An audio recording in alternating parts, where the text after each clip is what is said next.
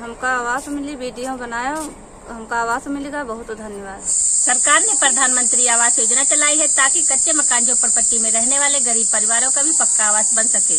परंतु बड़े अफसोस की बात है उत्तर प्रदेश के सीतापुर ज़िले के बिस्वा ब्लॉक के करौंदीपुर गाँव में पंद्रह गरीब परिवारों के आवास नहीं बन रहे थे। इस समस्या पर मैंने एक वीडियो बनाया था। आपके यहाँ क्या समस्या थी?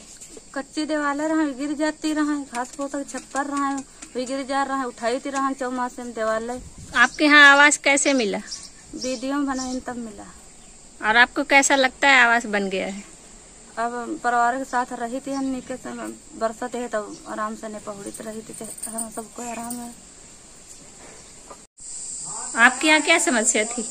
कच्चे दीवार रहा है पानी बरसत रहा है पानी उलचित रहा है तब गिरत बरत रहा है।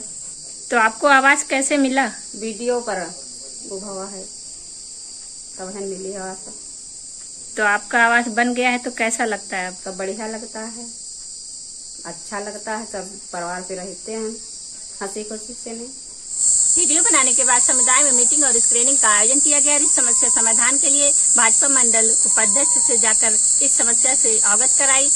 भाजपा मंडल उपाध्यक्ष के सहयोग से और हमारे प्रयास से पंद्रह गरीब परिवारों के बने आवास। और सरकार को 22 लाख पचास हज़ार रूपए खर्च करना पड़ा।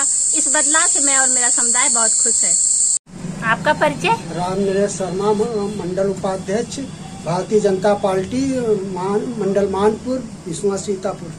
आपके यहाँ क्या समस्या थी? हमारे यहाँ मंडल में करौंदीपुर गाँव में पंद्रह लोगों की आवास नहीं मिली थी। आप लोग वीडियो बनाए वीडियो बनाने के बाद हम हमको सूचित किया गया हम ब्लाक के यहाँ विश्वा अधिकारियों से मिल करके आपको जो है, मिल करके और सब समस्या का समाधान किया। पंद्रह लोग जो है आवास में रहने लगे। अब हम लोगों को अच्छी तरह से रह रहे और आपकी संस्था अच्छा काम कर रही है। लोगों को जगा रही है और आपकी संस्था को धन्यवाद देते हैं।